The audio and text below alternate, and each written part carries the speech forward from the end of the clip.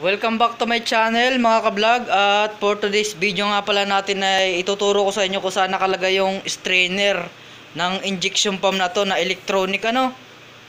Ano siya? Isuzu 4HF1 na electronic.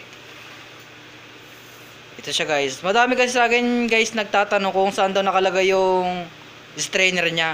Eh, hindi ko kasi kayo guys ma-replyan kasi medyo busy tayo sa work. Madami tayong ginagawa kaya ngayon, gumawa na lang ako ng video para sa inyo to, para makita nyo na mano- mano-mano na manual ko, ipapakita sa inyo yung strainer kung nasaan ano.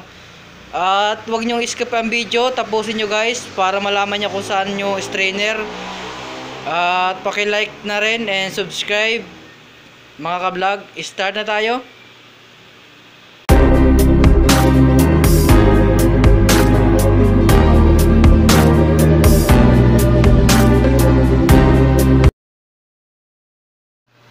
Ito ka guys, ano, ituturo ko na sa inyo kung saan makikita niyo yung yung kanyang strainer na Isuzu chip wala no, na electronic kung saan siya banda nakalagay. Ngayon, gagamit tayo ng combination na 32. Kailangan natin to guys. Tapos kailangan din natin ng circlip. Tapos kailangan natin ng allen ring ano para mabuksan natin to. 5 yung size niya guys, 5. Ngayon, ang uunahin natin na ito.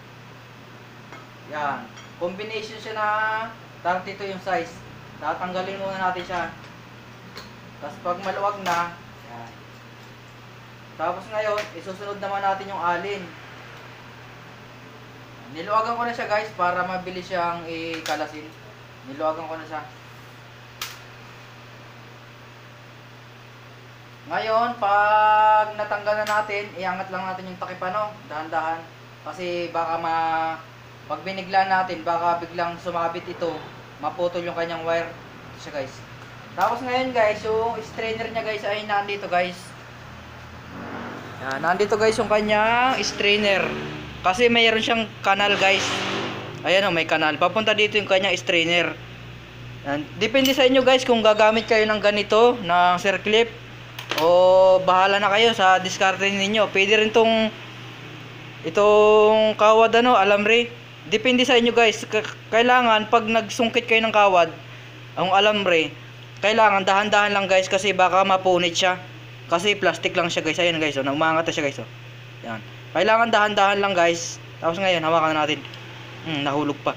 Yan, ulitin natin, ulitin natin.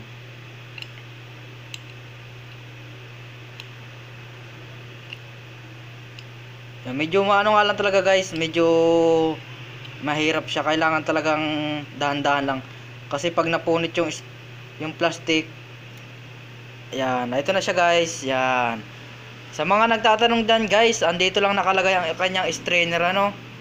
Yan. Yan. Tingnan mo yung laman loob niya. Linis ano. Yan. Andito guys ang kanyang strainer. Yan. Sa mga nanonood at maraming maraming salamat. At hanggang dito na lang yung ating video. At sana nalaman nyo kung saan nakalagay yung ating strainer sa Isuzu 4HF1 na to ano. At hanggang dito na lang guys. At maraming maraming salamat. Thank you.